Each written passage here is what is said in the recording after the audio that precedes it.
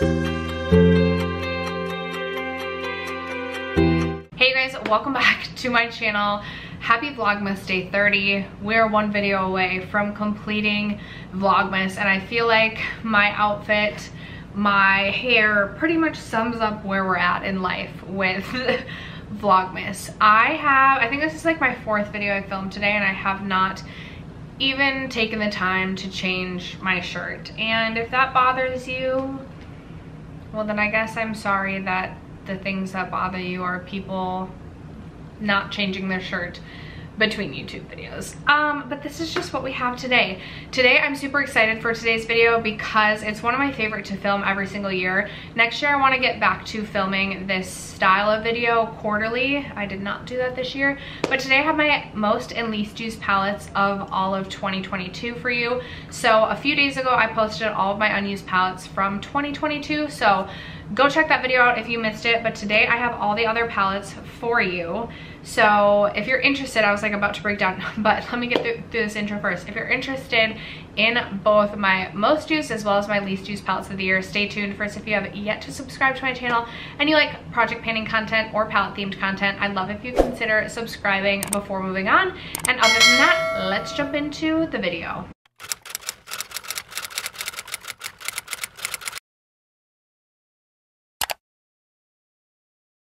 All right, you guys, um, I currently have 155 eyeshadow palettes in my collection. Only 20, 23 of those went unused this year, which is approximately 15% of my makeup collection or my eyeshadow palette collection, which sounds like a lot, but compared to years past, that's actually not that bad. This year, I'm gonna change up what I do with eyeshadow and I'm not going to even attempt to pan those eyeshadows this year and instead I'm going to do a different series on my channel which is going to hopefully help encourage me to cycle through my palette collection a little bit more and I'm really excited about it.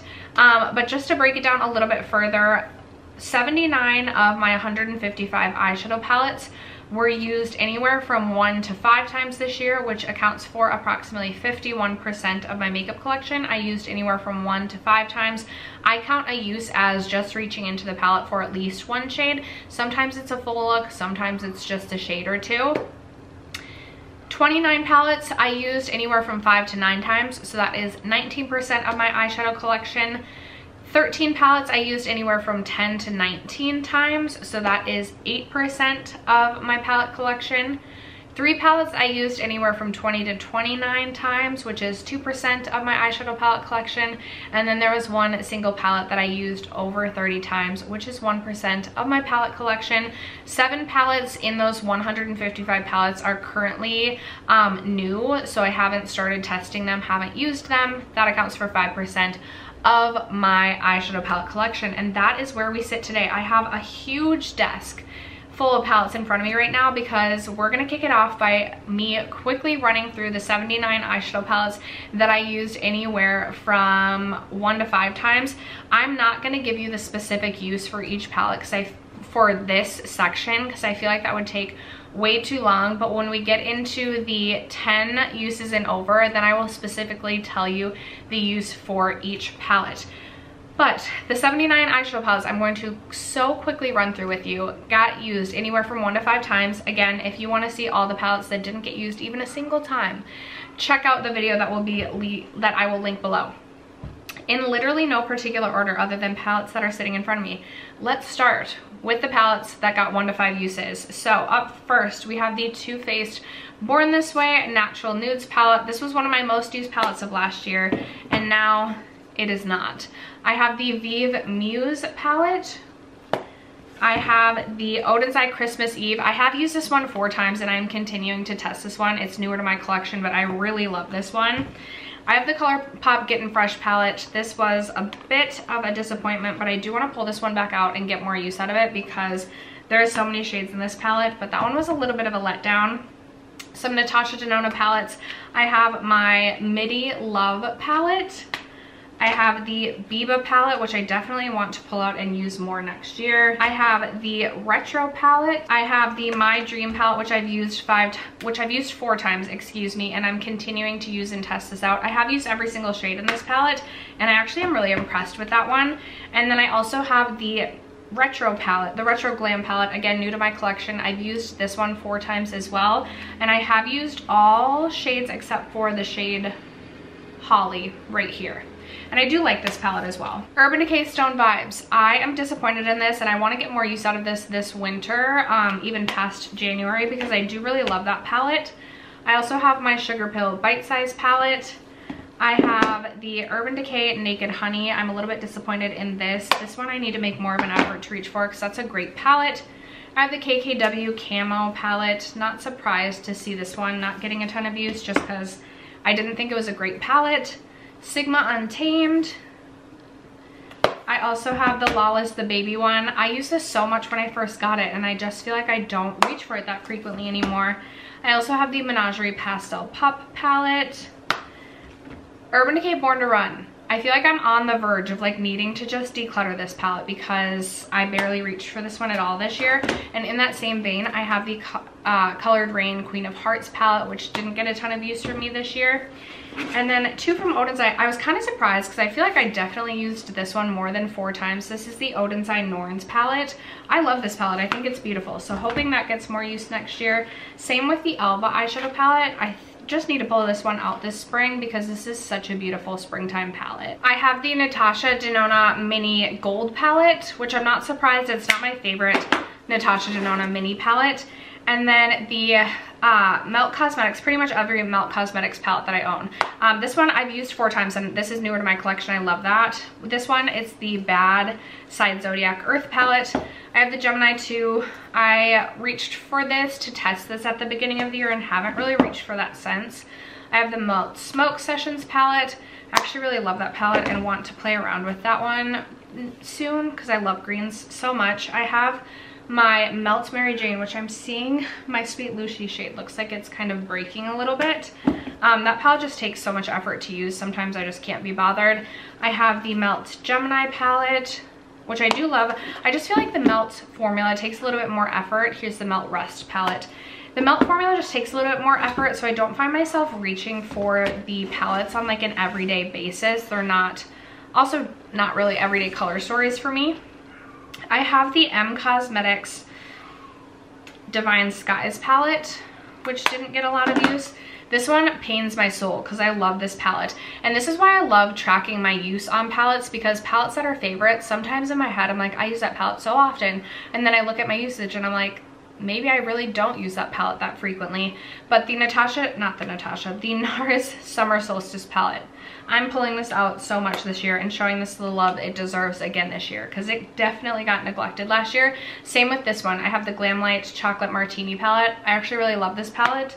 I just didn't use it that much this year. Same with this. I was so surprised to see ColourPop Limoncello because I feel like I took this traveling with me and I maybe it's because I probably forgot to track some of my use while traveling this year, but I have ColourPop Limoncello, which is one of my favorite palettes in my collection and my favorite ColourPop palette.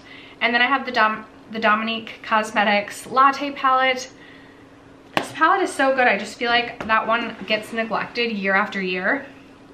From Nabla, I have quite a few of the cutie palettes. So I have the Metropolitan palette, the Platinum palette, and the Nude palette. If you're not new to my channel, you've also heard me say I did not do my makeup as frequently this year as I have in years past. So next year I do anticipate will be different. I have the ColourPop Cabana Club. I loved this one last year. ColourPop One and Done I purchased this year and was not that impressed. So we'll see if that stays in my collection through next year. ColourPop Going Coconuts. This is such a good neutral palette. Why don't I reach for this more? I have the Star Wars Mandalorian palette, the Child palette. A really beautiful green palette. Need to pull that one out around like March again this year. Then I have the Tinkerbell palette. Not surprised this one didn't get used that much just because this wasn't my favorite formula from ColourPop.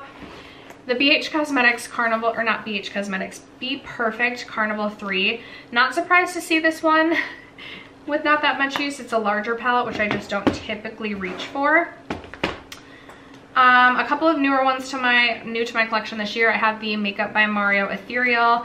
I've reached for this four times and continue to reach for this one, but it was a little bit unimpressive in my opinion. Saga Freya also reached for this, I swear more than four times this year because I remember like exclusively using this palette one week, but regardless. I also have the Pat McGrath Utopian. I recently pulled this out and used this the other day and I freaking loved the look that I came out with. So I'm gonna continue to keep that pulled. I also have the Kaleidos, the Escape Pod, as well as Club Nebula, which I swear I reached for Club Nebula more than four times this year, but alas, I guess I did not. I have the Aether Beauty Rose Quartz Quad. Looks like this. Did I purchase this this year? Maybe I did and I should have included this in my ranking. Oh well. Um, the Lunar Beauty Moonspell palette. Not necessarily my everyday color story, but still really like the quality of that one. Alien Cosmetics Not Normal palette. Again, not my everyday color story. BH Cosmetics Weekend Festival. This palette needs to get more love from me this year because this is a favorite palette in my collection. Like, truly love that palette. BH Cosmetics 90s Dance Remix, I actually think has an amazing formula as well. I actually love this palette, or really enjoy this palette, I should say. Love is a strong word. Um, but I'm sad that that one didn't get more use I have the Artemis palette by Alter Ego, which honestly, if I want to purchase the Natasha Denona Metropolis palette, then I should at least use this more to justify that purchase more. REM Go-Go Boots reached for this, I think, four times. Not super impressed with this quality. But it's not the quality, it's the color story really for me. The quality actually was pretty decent both Rowan quads. I was surprised because I swear specifically the 1111 was like all I was reaching for in February. So I'm very surprised that this didn't have more use. And then I also have the Rowan 75 degrees quad. I actually really enjoy these quads. So I need to bust those back out. I have the Pat McGrath, this one. I always forget, is this the number three?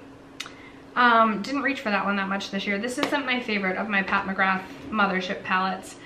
Also from Kaleidos, I have the Lavender Futurism Lavender Palette. Not surprised this one doesn't have a ton of use just because it's not a color store I'm reaching for that frequently. And then I also have the Astro Pink, which looks like that. I have my uh, Viseart Soleil La Plague palette. I actually, pla plague? Well, I don't know. I have this one from Viseart, which I feel like I didn't reach for, but I did reach for this a couple times. This is actually a palette that I really love and I'm excited to reach for again. And I do, I have my eye on a couple of Viseart mini quads right now that I really like, am very interested in. Um, Supreme Bronze from Artist Couture. This should have gotten more use for me, but I really was not wearing makeup much at all in the summer, and that's really a summertime palette for me. And then Supreme Mauves, I only reached for four times. This was newer to my collection this year, but I was not impressed with that palette at all. If you guys can hear a dog barking, I think my like neighbor like went to run errands and their dog will not stop barking. I have the Voyeuristic Vixen quad from Pat McGrath. I also have Persona Identity 2 as well as Persona Identity 1, which makes me so sad as well because Persona Identity 1 is like one of my favorite palettes. So I definitely should be reaching for this more. Sometimes this is eye-opening too because I feel like sometimes I neglect my favorites because I don't want to use them up, but I'm not going to use up an eyeshadow palette. And then also ABH Norvina. Huda Beauty Naughty Nude Palette. My favorite Natasha Denona palette. Was surprised to see this one got so little use as well. This is the gold palette. And I love this palette. I have the, I have quite a few Huda obsessions. So I have the Huda Neon Orange. I have Nude Medium. Huda Smoky Obsessions, which is a favorite palette of mine. Mine is like destroyed and I've had to repress uh, one of the shades in there a few times. I have Nude Rich, which I also think is a beautiful palette that I should be reaching for more. And then I have Wild Python. And then the final two in this category, I have Glamlite Cake. Not surprised to see this just because I barely wore color this year. Um, and I just don't play around with color that much. And then I also have the Ice Cream Dream in this same category. So those were the 79 eyeshadow palettes that I have only reached for anywhere from one to four times in my makeup collection. I'm to swap my desk out quick and I'm to grab the 29 eyeshadow palettes that I have reached for anywhere from five to nine times next. Okay, as I was swapping things out, I realized I missed three palettes that had anywhere from one to four uses. I have my uh, Aether Beauty Amartine Quad. I also have the ColourPop Capricorn in Charge quad, as well as the Natasha Denona Mini Biba palette. So those all were in the 1 to 4 category. Now moving on to the 29 palettes, 29? Yes, 29 palettes between 5 and 9 uses, starting with Too Faced Pumpkin Spice, then I have the Sigma Corderosa, which I actually was surprised. I thought that I had used this less, even though it is a favorite of mine, especially for the summertime. I love the color story, and I really am impressed with the Sigma quality. The ABH Jackie palette is definitely a palette that I find myself not reaching for because I love this palette so much and like I can't replace it. And I need to stop doing that um, because I think I only reached for ABH Jackie nine total times and I love this palette so much. So I need to reach for that more.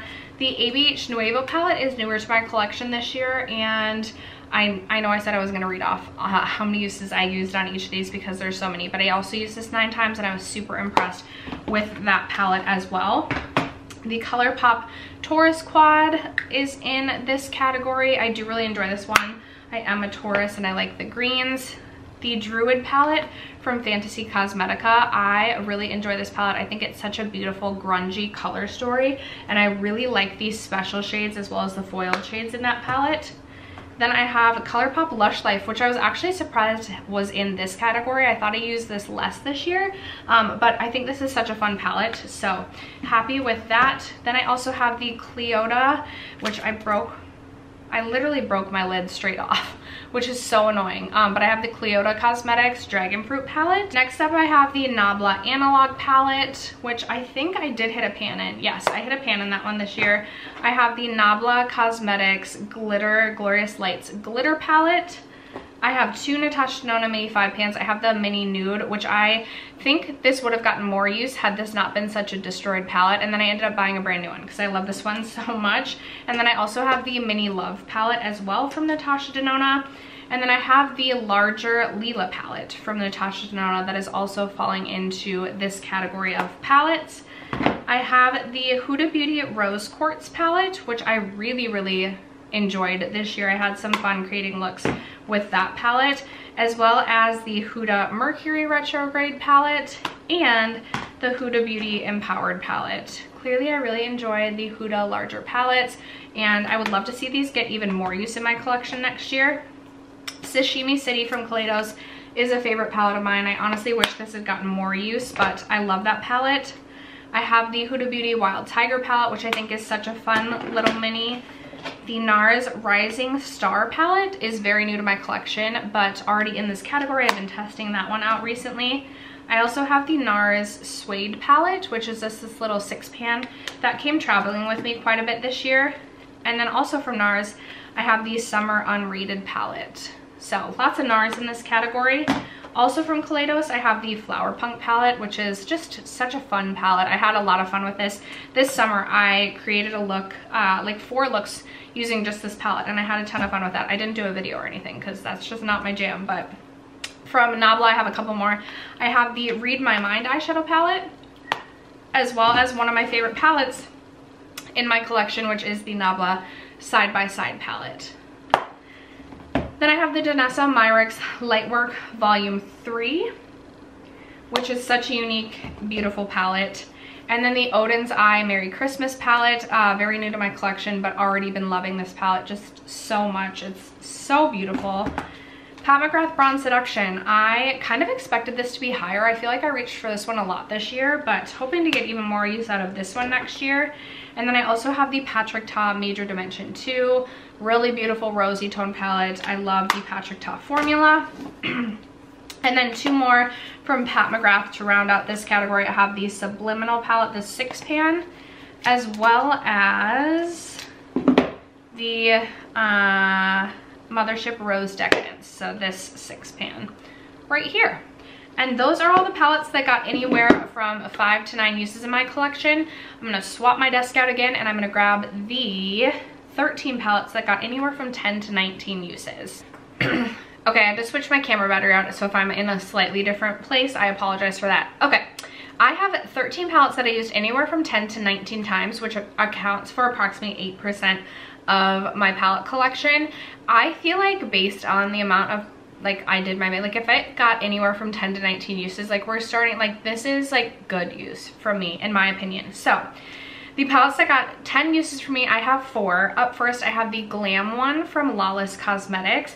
This is what this one looks like, and I was kind of surprised to see this in like this high of use, but I must have used this quite a bit at the beginning of the year and kind of just forgot that I had used it so much. I do really like these little palettes from Lawless um, and hope to continue to get more use from that in the future. From What's Up Beauty, I have the Geode palette, and I use this quite a bit this summer. I was loving the shade Citrine on the inner corner, but I also really like all of the metallic foiled shades within this palette. They did send this one to me, and I was actually very impressed with that one. The Patrick Ta Major Dimension palette, I actually expected to have more use for me, and I'm hoping that this is one of my most used palettes next year. I think when I'm not trying to do so many projects with eyeshadows and stuff, I think I'll be curious to see what my makeup, like my eyeshadow consumption and usage looks like next year if I kind of like change up the way that I'm consuming my eyeshadow. So I'm very curious to see how my consumption will change because some of these when I was doing pan those eyeshadows at the beginning of the year I was using the palette a lot so obviously it got more use but it wasn't necessarily a favorite but then I wasn't using my favorites so I'm not doing pan those eyeshadows next year and I'll be very and by the way I quit pan those eyeshadows like halfway through this year but then I like wasn't doing my my makeup all that to say I'm gonna be curious um, as I like shift some of the things that I'm doing in terms of like panning or makeup consumption. I'll be curious to see how my usage change changes with that. Okay, number the fourth palette that got 10 uses was this one from Clarity Cosmetics. This is the Somer Amazing palette. I really enjoyed this palette this year. I was super impressed with it. I love the special metallic foil shades. The pastel mattes actually perform really well, but I like this palette more for like the special shades. Within this palette, I loved the shade Don't Be Shellfish, again, as an inner corner highlight. I was loving a yellow inner corner highlight this year. Can you tell? Um, this next palette got 11 uses and it is the Sydney Grace Tiny Marvels palette. This is such a beautiful palette. Sydney Grace has such a good formula and I hope to continue to see this palette get more love for me in the future. Next I have the Huda Coral Obsessions palette. This palette got used 12 times. I do have a couple of pans in this palette. Um, I do really love this palette. So I was happy to see that that got 12 uses. Then I have the Alter Ego Canyon palette, which got used 13 times for me. This one also has a pan in it. This isn't my favorite palette in my collection, but this was in my pan those eyeshadows, which I think is why it got so much use. Next two palettes, both were used 14 times. I have the Natasha Denona Mini Glam palette. I was hoping to have an eyeshadow pan in this palette before the end of the year, but alas, I do not. And then also the Marc Jacobs Electric palette now has two eyeshadow pans in this palette, and I used this palette 14 times this year, and I used this palette quite a bit last year as well. So this one has gotten some good use for me in its lifetime. The Kat Von D uh, Alchemist Holographic palette, I have 17 tracked usage uses with this. This has been like my go-to inner corner highlighting palette until I started using yellow all the time from different palettes this year. But I only started tracking my use with this just because I haven't always considered it like an eyeshadow palette um, like halfway through this year. So this has gotten so many more than, so much more than 17 uses.